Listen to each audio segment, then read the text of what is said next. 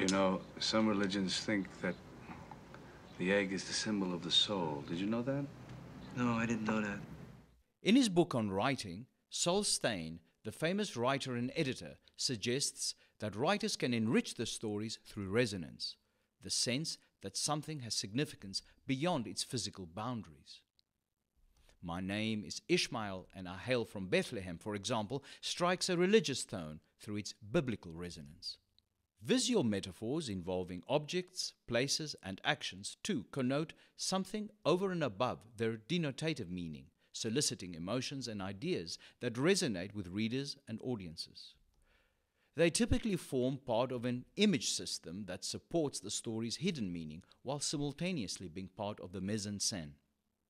I'm Dr. Stavros Halvatzis, writer, lecturer, and story consultant. Visual metaphors take many forms. The breaking of a chain may represent the onset of freedom. A broken mirror might represent the theme of illusion and deception, or a shattered persona. Shakespeare often uses visual metaphors to deepen the story's meaning. The rain in King Lear, who is reduced to mad rumblings stemming from the betrayal of his daughters, symbolizes his inner turmoil.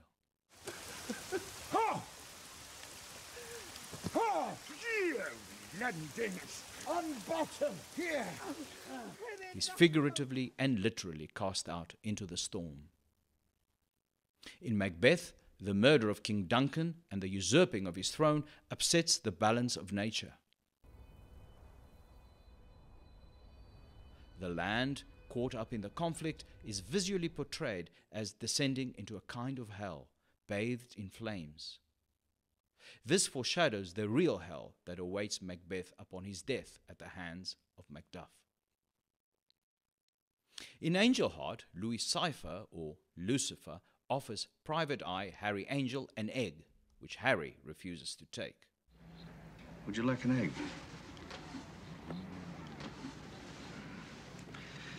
No, thank you. Were Harry to have accepted the egg, he would have taken back his soul, in effect terminating the story. Instead, Harry, at a symbolic level, offers up his soul to be consumed by the devil.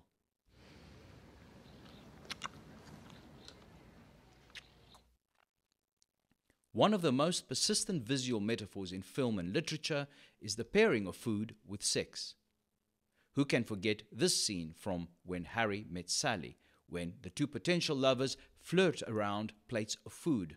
The food metaphor represents the hunger, real or figurative, that lovers have for each other's bodies. Oh, oh, oh, oh, God. Oh.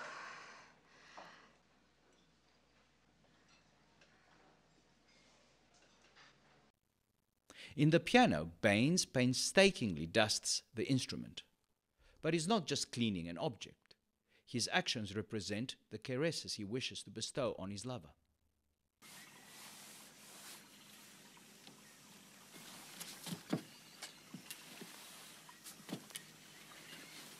Visual metaphors need to be carefully constructed, though.